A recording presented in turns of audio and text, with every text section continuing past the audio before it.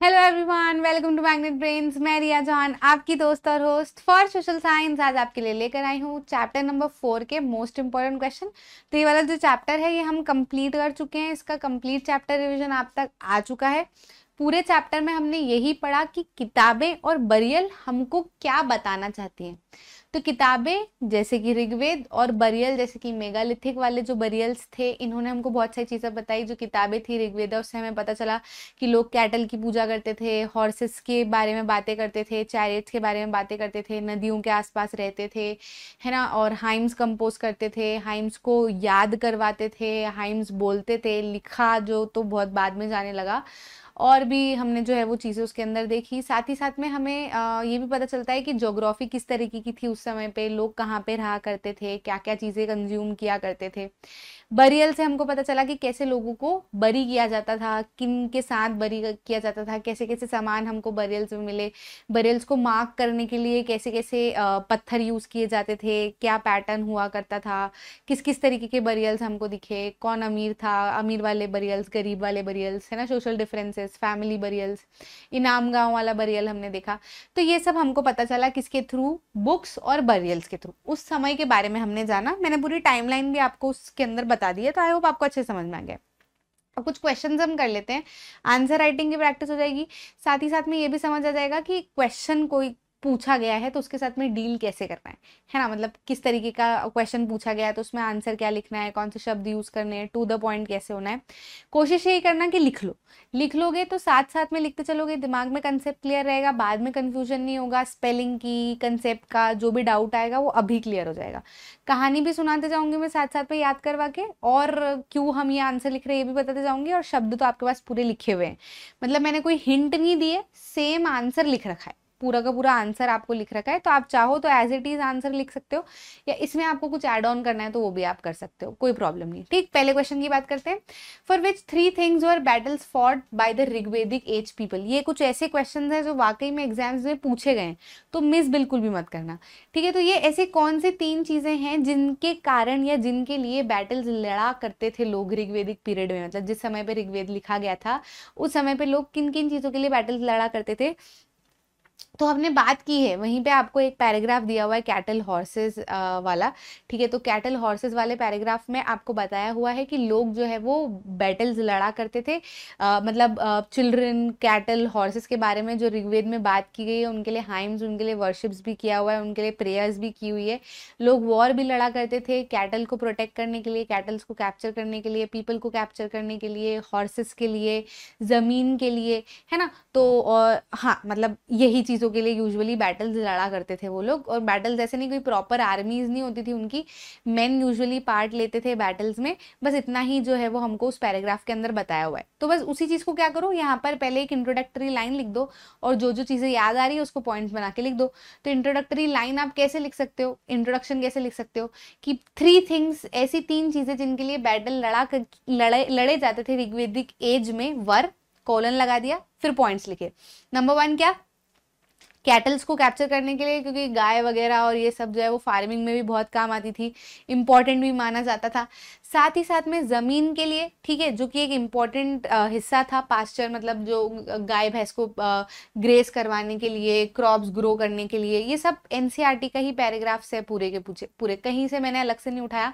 N e से ही उठाया हुआ है तो आपकी जो किताब है उसी के आंसर है, उसी के क्वेश्चन है। ठीक मतलब पीछे वाले क्वेश्चन नहीं क्वेश्चन तो जो पूछे गए एग्ज़ाम में वो क्वेश्चन है, लेकिन आंसर हमने उन्हीं पैराग्राफ में से निकाले हुए हैं। ठीक है? मतलब वो ऐसा कैसा पैराग्राफ छपा हुआ ध्यान में आ रहा है कैटल हॉर्सेज वाला। ठीक? और भी बैटल्स लड़े जाते थे पानी के लिए, लोगों को कैप्चर करने के लिए। तो जो भी ज़रूरत की चीज़ें थी, उसके लिए लोग लड़ाई करते हैं। जैसे आज लड़ाई करते हैं, वैसे पहले लड़ाई करते थे। ठीक? तो बस यही चीज़ आप क्या कर सकते हो, इसमें इस फॉर्म में लिख सकते हो। अगले क्वेश्चन की बात करें तो कुछ इंपॉर्टेंट हिस्टोरिकल इवेंट्स और डेवलपमेंट बताना है हमको इन डेट के आसपास, कि 2000 साल पहले क्या हुआ था? मतलब चैप्टर में बहुत सारी जगह पर 2000 साल पहले ये हुआ था, ये साल की कुछ कुछ बातें कही गई है तो उसी को हमको यहाँ पे लिख देना है। तो 2000 साल पहले क्या हुआ था? तो आपको याद है, आपको याद होगा, याद आ रहा होगा चैप्टर में मैंने आपको बताया है कि स्केलेटन की स्टडी कैसे की जा सकती है? तो जैसे जो हमको बरियल्स मिले, है ना? तो बरियल्स में हमने क्या देखा? जो बरी किए हुए जो बरियल्स थे बॉडीज थी, उनको हमने क्या देखा कि वो बहुत कुछ बताती थी कि किस समय की है क्या क्या सामान रखे जाते हैं। साथ ही में उन बरियल्स को स्टडी कैसे किया जा सकता है? तो एक तो ये कि भैया किसी बरियल के साथ में ऑर्नामेंट रखे हुए हैं या ज्वेलरी रखी हुई है है ना?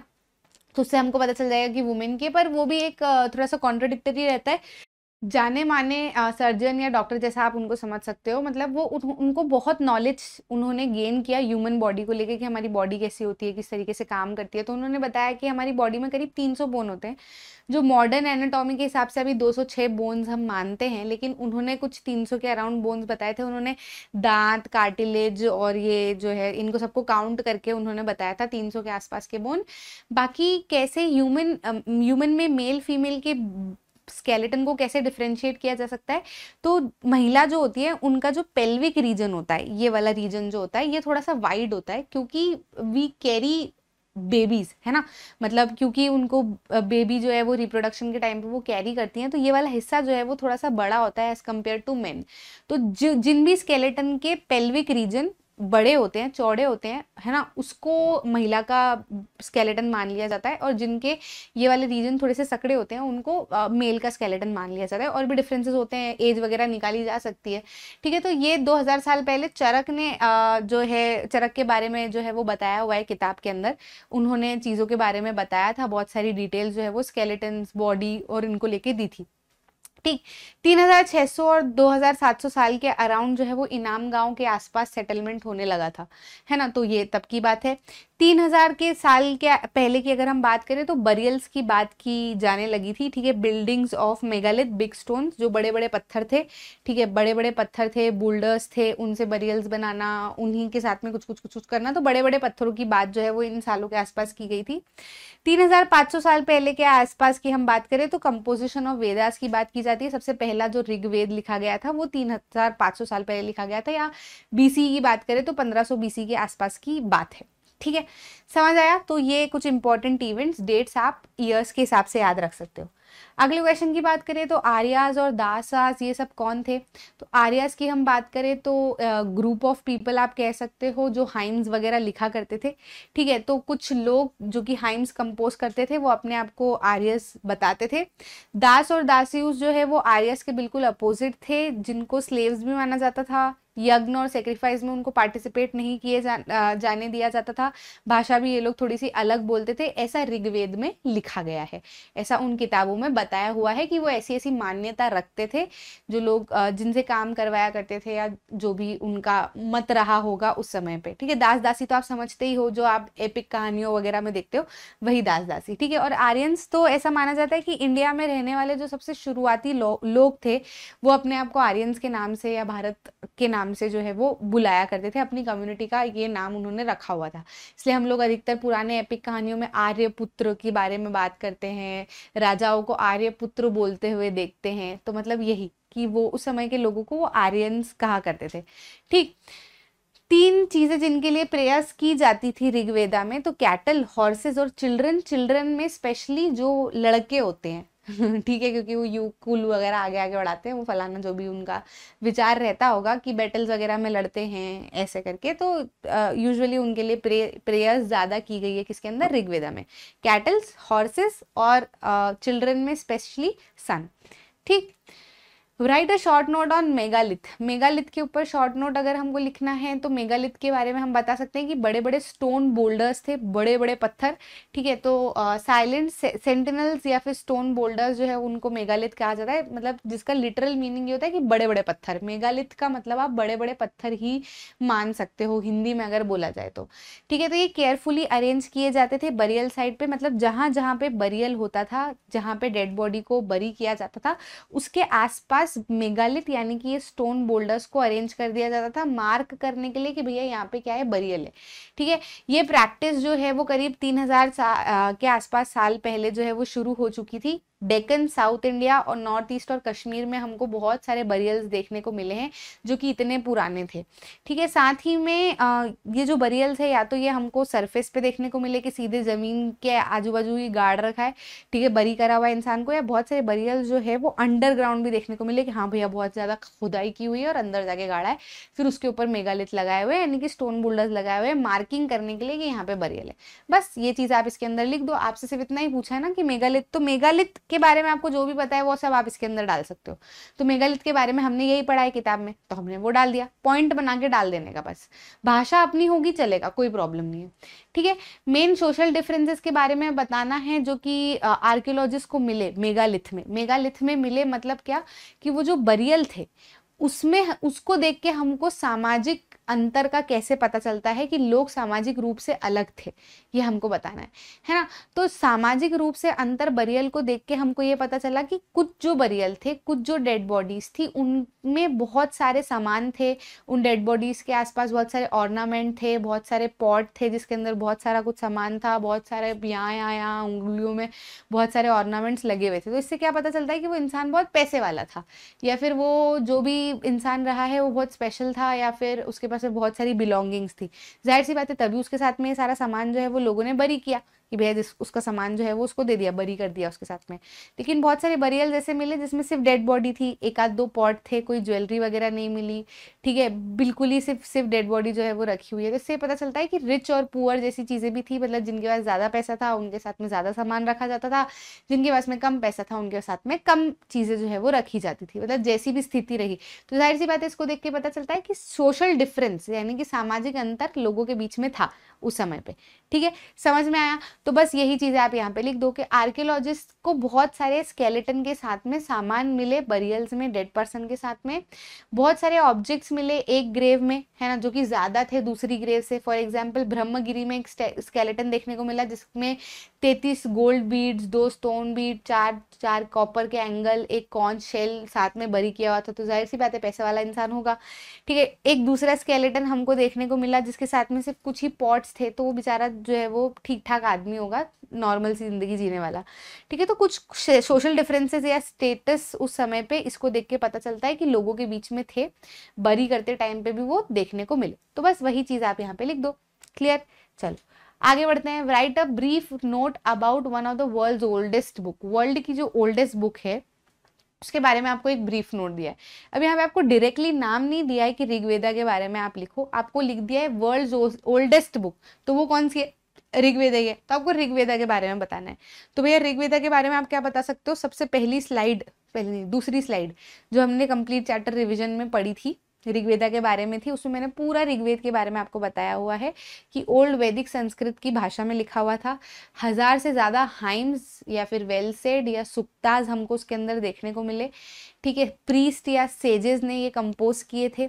यूजुअली कंपोज किए जाते थे, रीड नहीं किए जाते थे, सुनाए जाते थे और याद किए जाते थे या रिसाइट किए जाते थे। ठीक है मेन ने भी बहुत सारे हाइम्स कंपोज किए हुए हैं, कुछ हाइम्स जो है वो फीमेल्स ने भी कंपोज किए हुए हैं। तो यही चीज़ें हमको ऋग्वेदा के बारे में बताई गई। करीब तीन हज़ार सात सौ साल पहले इसको लिखा गया था या तीन हज़ार सात सौ साल पहले के आसपास की हमको मन्यूस्क्रिप्ट और ये सब देखने को मिली। बिर्च बार्क पे, बिर्च की जो बार्क होती है, उसके ऊपर लिखा हुआ था। सबके बारे में। ठीक है तो बस यही चीज़ आप लिख दो कि ऋग्वेदा जो है वो सबसे ओल्डेस्ट बुक है वर्ल्ड की।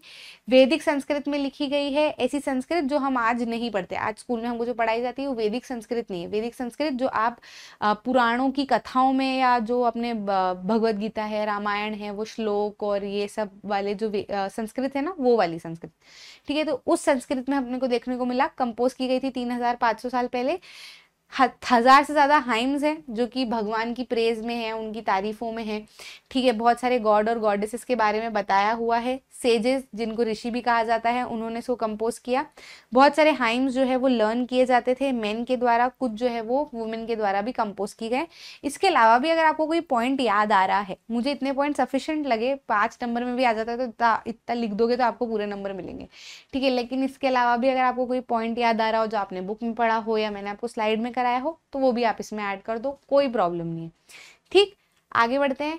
ब्रीफ अकाउंट देना है स्पेशल बरियल फाउंडेड इनाम गाँव। इनाम गाँव जो आखिरी में हमको केस स्टडी दी हुई है, उसमें स्पेशल बरियल जो हमने देखा, जिसके बारे में पढ़ा तो उसके बारे में हमको थोड़ा सा बताना है कि क्या क्या है। तो इनाम गाँव की तो पहले जगह बता दो कि कहाँ पे पड़ता है है ना? तो वो रिवर के आसपास जो है वो हमको देखने को मिला। बता देना वैसे तो ये लिखा है ना। ठीक है, घोड़ रिवर के रिवर के पास में, जो कि भीमा रिवर की ट्रिब्यूटरी है। तो वहाँ पे हमको देखने को मिला कि बरियल्स जो थे, वो स्ट्रेट लाई किए हुए थे। ठीक है, जिनका सिर नॉर्थ की तरफ़ था।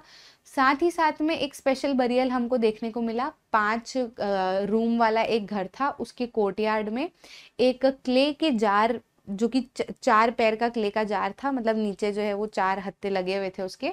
क्ले का जार था, उसके अंदर एक डेड बॉडी को रखा हुआ था, है ना? मतलब उसके पैर जो है वो क्रॉस लेग क्रॉस करे हुए थे और वो जार के अंदर था। तो ये कुछ एक अलग सा स्पेशल बरियल हमको देखने को मिला, जो कि हमको अभी तक कहीं पर भी नहीं देखने को मिला था।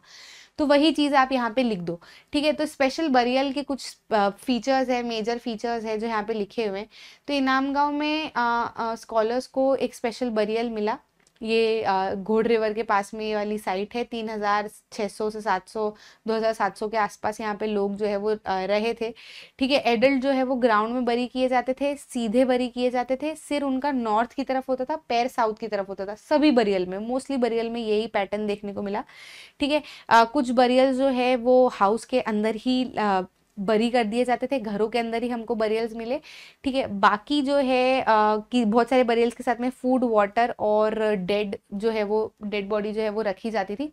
स्पेशल वो आपको क्ले जार वाली चीज़ भी इसके अंदर लिखनी ही है तो वो अच्छा रहेगा अगर आप वो लिख देते हो क्योंकि वो स्पेशलिटी है इनाम गाँव के बरियल की वैसा बरियल हमको कहीं पर देखने को नहीं मिला। आप लिख सकते हो a clay jar a burial was found in a clay jar that was buried in a courtyard of a four roomed house five roomed house है ना? The the body was cross cross legged and buried under a clay jar ऐसे करके आप अपनी भाषा में जो भी आपको लिखना है, ये लिख सकते हो कि ऐसा ऐसा बरियल जो है वो हमको कहीं पे भी देखने को नहीं मिला, सिर्फ़ यहीं पे देखने को मिला था।